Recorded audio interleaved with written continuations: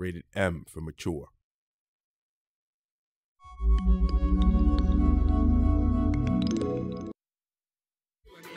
Ain't that funny? Jack, Jack, he's a psychomaniac. That's right, it's Defo sight. It don't matter who's wrong or right. I just might catch you slipping. Getting paid is my intuition and my ambition. It's the the city of the sea. We've got one of the announcers. He uh, took time out of his very busy schedule. Mr. Greg Proops, say hello to uh, all our fans. Hello, everybody. Hi, I'm Greg Proops. Hi, JP. Or, uh, as we called you in Mad World, Howard Buckshot Holmes. Buckshot, yeah. So uh, I kind of want to start and find out how you got involved with Mad World, um, what happened. Uh, my friend Jack Fletcher called me, who I'd done a bunch of pictures with, uh, a wildly unsuccessful picture called Kaena the Prophecy that had Kirsten Dunst and uh, Richard Harris' last movie. I think it was the movie that took his life.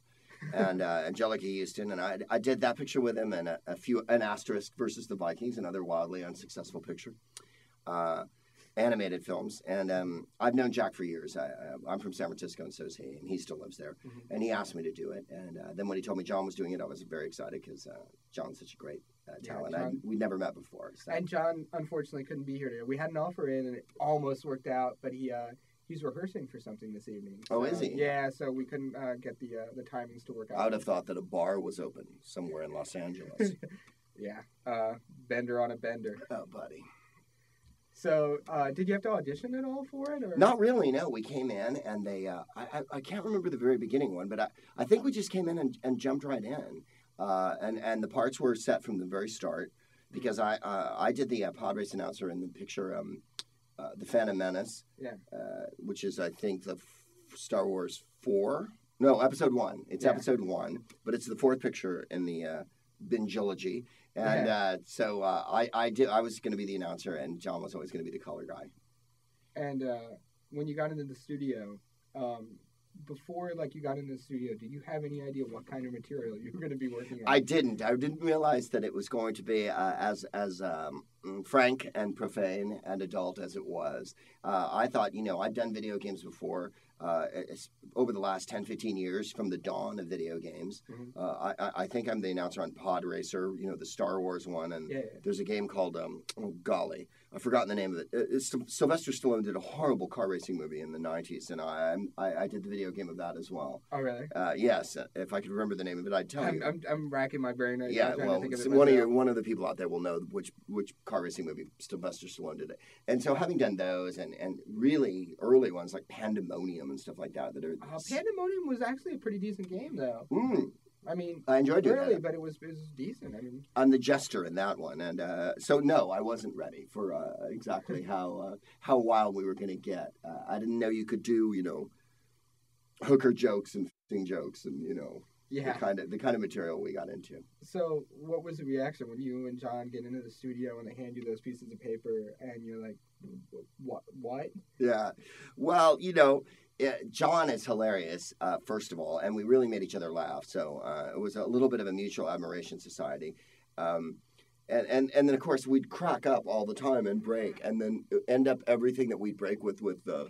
He started going, I blame our schools, like that. And th- that became the catchphrase through no matter what vile thing we said.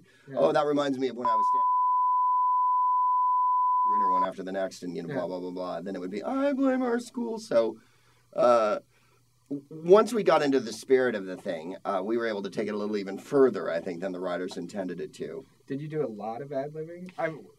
Well, I don't want to take anything away from the writers, but we did a, we did a fair amount of ad libbing. What got in, I'm not certain of because I haven't watched the game yet. I don't have a Wii uh, uh, um, operating system.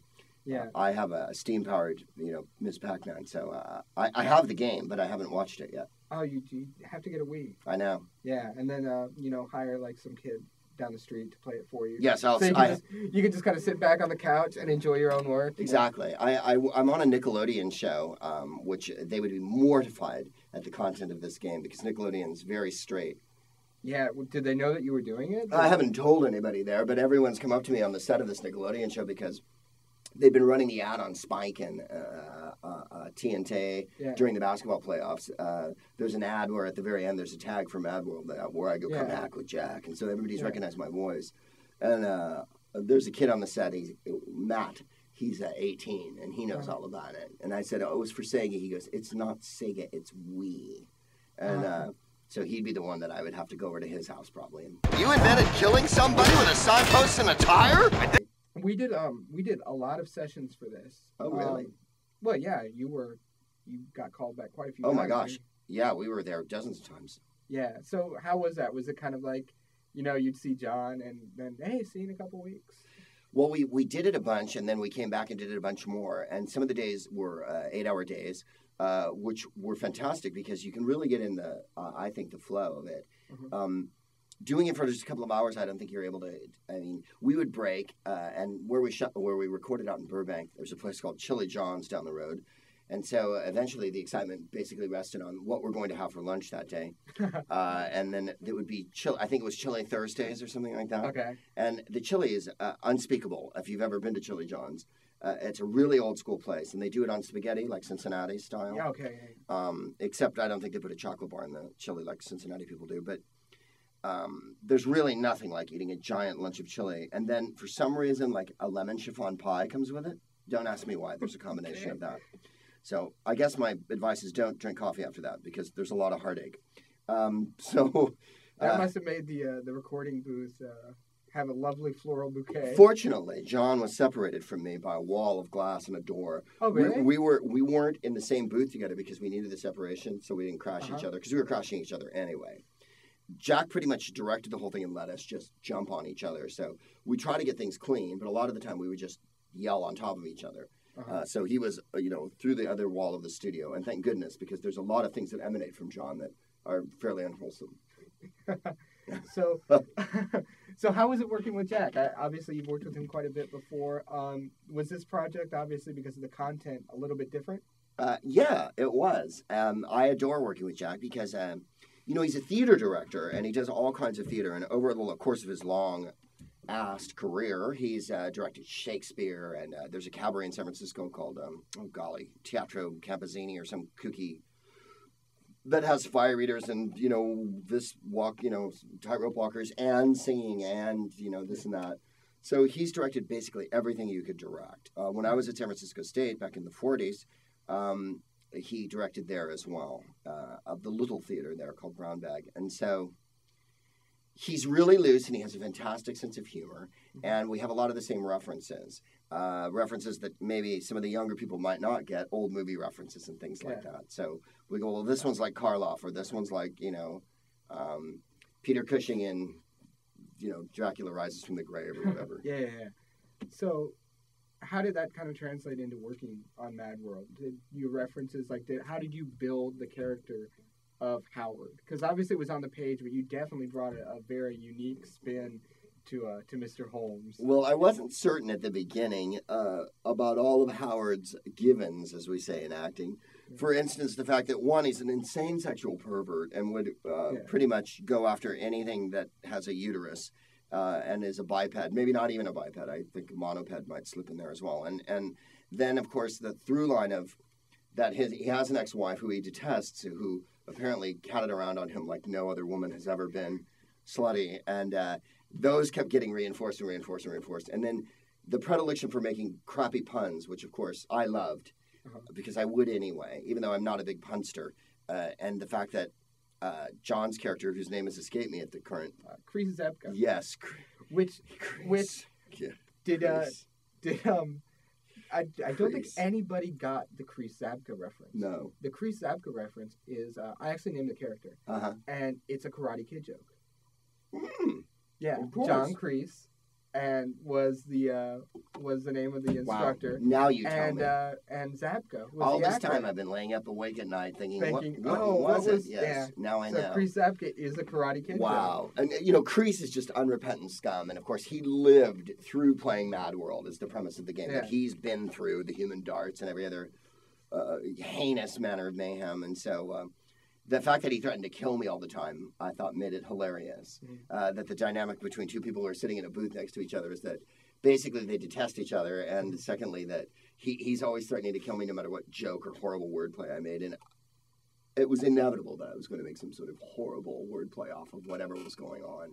I, you know what it kind of reminded me of, and I don't know if people are going to get this, but it reminded me of anybody sitting next to Bill Walton. Ah, yeah, Bill Walton. Wow. Just saying like whatever insane, like makes no sense Yeah, yeah. he possibly could, and then somebody has to riff off that. right, right. Somebody has to come back and bring it to Earth Yeah, after Bill Walton. and there were like, there's lots of those where you're doing like the really bad pun, but then Yeah. there's also lots of them where he says just something completely out there, Yeah. and you're like, you were dropped on your head as a child. Yeah, yeah.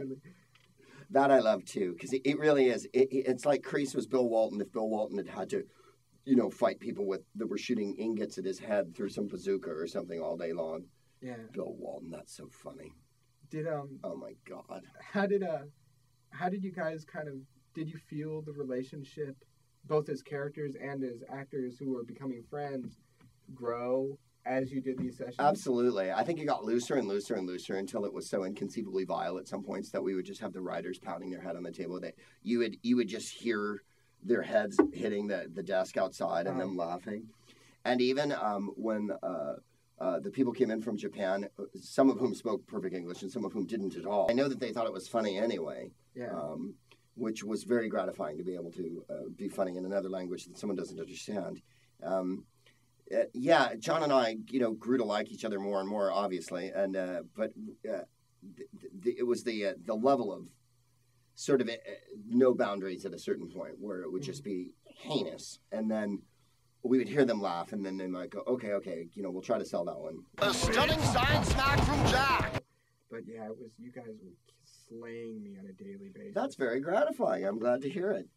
I mean, we were making each other laugh, and and you know, I'm a comedian, so for me, the basic rule is always if it makes you laugh, Mhm. you know what I mean. I don't Yeah. think you can think about the audience as much as uh, what's going on in the room, Mhm. and then hope that it just translates for people. And I think it did yeah because I've been reading the reviews online and all the gaming mags and all the gaming blogs here, and everybody seems to really enjoy that part, the announcing. yeah I mean, they like the music and the graphics, and obviously the visuals are stunning and the the, the fantastic stylization, so that it's all in black and white with just the red, red, yeah the red, red krovvy, as Alex the Droog would say. Uh, just the blood is red, and um, but I think people really enjoyed how you know kind of loose and horrible and profane the the announcers were too. it, it worked out brilliantly Yeah. i think um, what was your reaction to actually seeing the game Well, I think it's fantastic. I mean, uh, I, I, not being someone who plays a lot of games myself, not owning a Wii uh, device or whatever they're called, uh, I'm always kind of constantly astounded uh, how many people are involved in this and, and like whom, you know. Um, I would have thought it would t- be teenage boys, but I don't think it is. I think it's men in their 30s, you know, early 30s, late 20s. I think Yeah. it's the real target audience for all this. Um, so that's very interesting for me to find out that that's who's following all of these things, you know. Mhm. I don't think women so much, but uh, I, I would have thought it was much a younger crowd. Mhm. Just uh, guessing that that it would be kids because teenagers are so computer savvy, so, so deft with everything, and they know how it works, and it's not a mystery to them. Mhm. Whereas when you get to my age, you- like you say, you have to invite someone over to simply to get them to operate the machine for you. well i'm sure that you could actually have a good time playing mad world just by yourself Oh yeah, but i was saying invite someone over just so you could relax and enjoy them. yourself yeah, yeah, yeah. yeah. Yeah, it's like I have the nice surround sound system, and I'm going to enjoy listening to myself.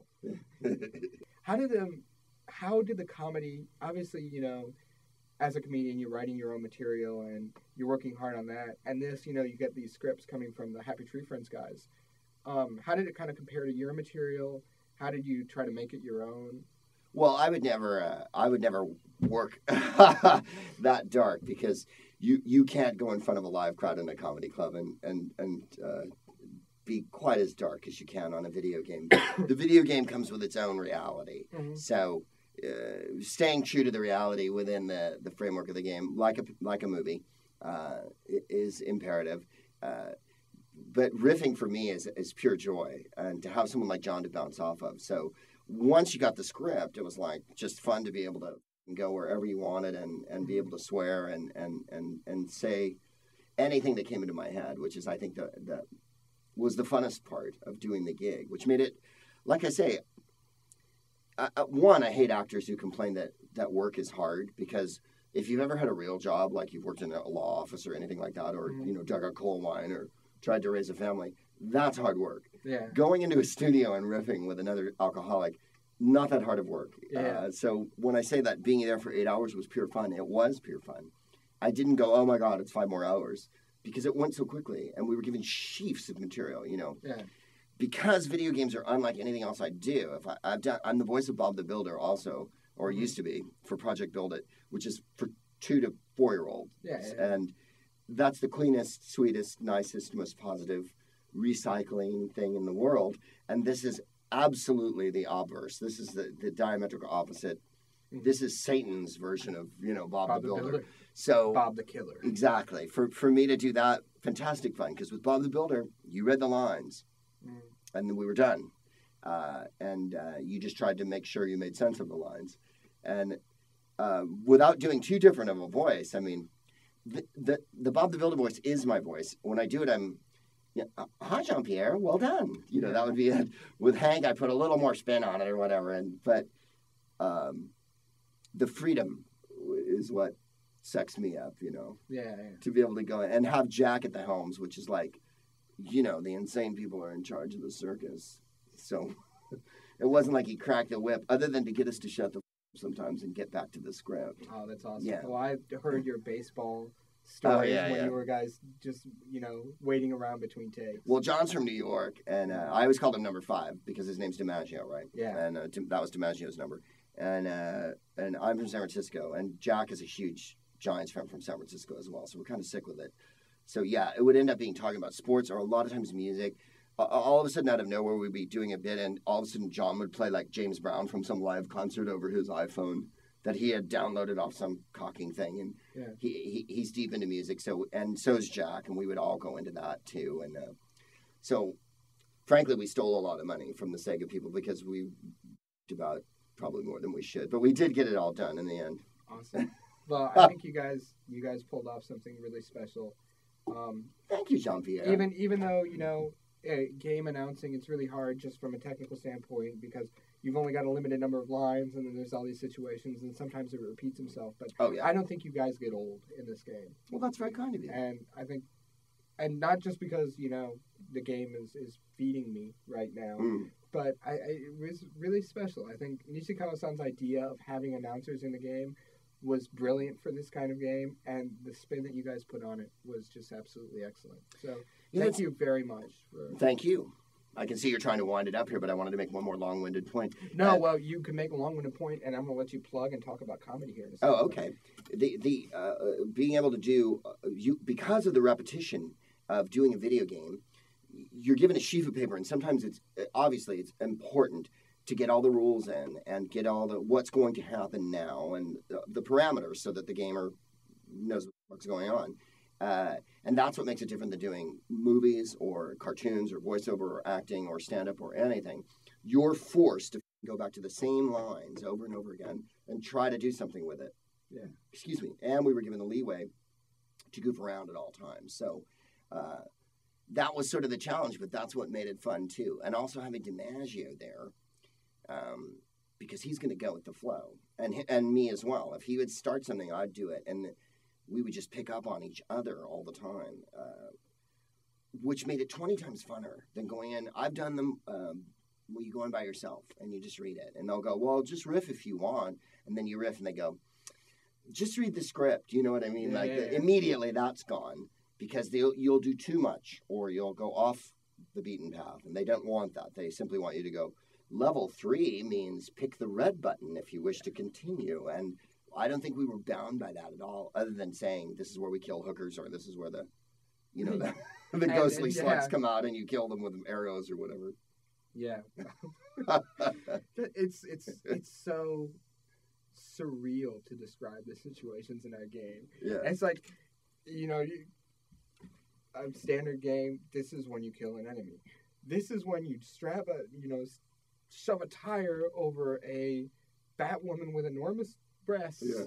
and then you know beat her around a cathedral. Yes. Like it just becomes more Yeah. obscene and more surreal. I can imagine you guys getting the the the slugs of what this was gonna be for, and be like, "What?" Yeah, we would laugh our ass off because it would say like just that, you Yeah. know, uh, hookers, you know, get cut into put bag over hooker's head, bounce around, and sometimes fantastically, in stilted, reconstituted English. So it would be like reading. that was that was not my fault. No, I know, that I know. was not my But, fault. you know, go go time fun thing, good Yeah. there. You know, and you'd be like crying, laughing, and then. Uh, so yeah. Anyway, it was it, it it fit in with me being a stand up because I tend to riff as a stand up and I do a lot of improv. So I really enjoyed that part. Uh, I don't like a lot. What I like is some rules because Mhm. some rules gives you the structure to be able to build something. Mhm. I find that uh, one of the big lies about everything is uh, do what you want because do what you want is a mess. Yeah. and uh, there has to be direction and there has to be um, you know guidelines. Mhm. but within those guidelines you can there's a whole world um, uh, you know like like islamic art or whatever. People go oh isn't it constricted because you can't use figures or you can't use faces and whatnot? No. It, it's simply uh, you know the parameters are set and therefore within that there's an You infinite within world yeah, yeah work within your four walls. I, I think that I think that makes for good uh, creativity and good. I, I hesitate to use the word art, but certainly craft. You know, Mhm. um, when anybody ever says "do what you want" or "there's no limits" or this and that, I tend to find that it, it, it it's a bit of a, if you'll pardon the expression, uh, masturbatory because you can you you just you're getting yourself off and nobody else. Mhm. Whereas I think the duty is to you've got an audience and the audience has to respond to what you're talking about. Mhm. And if you're just rambling or rattling, not so good. When there's, you know, yeah. I mean, that's why stand up for works for me. Mhm. You're trying to get a laugh every 15 to 30 seconds. So the rules are written. Mhm. No matter what you're talking about, you still have to come back to laugh lines and punchlines that are going to spur the audience on. Did uh, just to hit up uh, something that I think you're probably known best for, which is the Whose Line stuff. Sure. Did any of the Whose Line stuff kind of make it into Mad World? Did you slip something in that that uh, people might have missed? Well, not that I can remember off the top of my head, but I'm certain it did. Uh, we had so many riffs that we did a thousand times on that show. Um, and you know, again, with those guys, people would say to us, "D- "Did you guys really make it up?" Which is a left-handed compliment, right? yeah. It's a it's a compliment in so much as they think, "Oh, well, it had to have been written because how could you possibly be so clever as to think of those dick jokes?" But uh, at, by the same token, we've been doing it a long time, and we work together a lot, and we've known each other. Uh, I- I've known all the Whose Line guys for God, we're on to twenty years now almost. Yeah. In fact, it'll be twenty years this year. Wow. And um, after you work with someone that long, you know what they're going to do. And I think that's the reason why people liked Whose Line so much. That that was slightly unsafe and unpredictable. Uh, it was a regular network television show, and it was in England for ten years before that. And I did the whole thing, but we really didn't know what we were going to say. And sometimes you'd say something so up and weird that everybody had to go with it, and then we would make it work. And you just don't get that in scripted shows. And if you had ever let network executives decide what's going to happen, they're going to homogenize it to the point where there's nothing good ever. yeah. Because they simply they people who run networks don't do their own laundry. They Mhm. don't raise their own children. They have nannies. They don't wash their own car. They don't go to the post office. You know what I mean? yeah, yeah. They don't have lives. Your life is going to the grocery store. Your your life isn't sending someone to do everything for you. Yeah, yeah, yeah. So then I read a quote the other day from one of the network execs because they're making more sitcoms this year. Yeah. People want sitcoms because of the economic downturn. Yeah. People are depressed. Like, And you know that there's a meeting of like 80 guys Yes. who came up with that. hey, catch a wave. It's been this way for two years. Oh, and the other part of the quote was, you know, after 9 11, everybody really wanted reality. It was like, honey, no one ever wanted anything that you people shoved up our ass. Yeah, People want entertainment, they want stories, they want action, they want whatever. They want to feel something. yeah, exactly. And it feels like uh, the- TV, particularly, and, and big movies, you know, big yeah, big budget type movies are trying to keep you from feeling things, which is I think why people love independent things so much and why why independent films took over the Oscars in the last 10 years and why a picture like Slumdog Millionaire out of nowhere, which would have never been nominated for an Oscar 15, 20 No. years ago. That would have been best foreign film shunted. Bolly- yeah, it would have been a shunted. Bollywood, if, if even if it would have gotten any respect as a Bollywood movie to begin with. Yeah. So, you know, I, I think that's the, the the big upshot of it is the the interweb and uh, uh, uh, that's the positive part of it. The negative part is that it detaches people because they spend too much time on their alone on their computer or on their game. But the positive part is that there's an independent world where everyone is empowered now, and also the idea of feeling something and interacting with other people in that world is important. And I think that's the the, the best thing that's happened out of all of this. So we've only got a, like a minute left. I'm, Uh, I can blather forever. Oh, it's all right. It's all right. I, and I would love to indulge it, but I just want to ask you one last thing: is uh, what are you working on now? Uh, I have a chat show that I do over at a place called Largo on in Los Angeles. I know your pod people might be here. And of course, I do my stand up. I'm on Nickelodeon for you young children that are watching on a show called True Jackson VP. That's on Saturday nights. And uh, And I'm on Flight of the Conchords, which I think they're showing ad nauseum on HBO. yes, they do Yes. air that quite often. I play an advertising asshole as if there was another kind of person in advertising. well, Mad Men. Ah, Mad Men, there you Yeah. go. Um, and obviously, all your old material lives on on YouTube. It lives on forever and ever. And Whose Line? Uh, we might be doing something. I can't really talk about it. Drew's trying to whip up some improv thing. Uh, and also, um, I, I'm going to have an album coming out this year called Elsewhere on a, a special thing uh, label, which you can go on the web and find. It's the same level as um, uh, Doug, Doug Benson's on it, Brian Posehn, a lot of guys. So Cool. I made a new album there. Excellent. And I you. call it an album because I'm old. Thank you very much for joining us. Thank you, Jean-Pierre. a pleasure. Pleasure, pal. Great. Thank you very much. Cheers.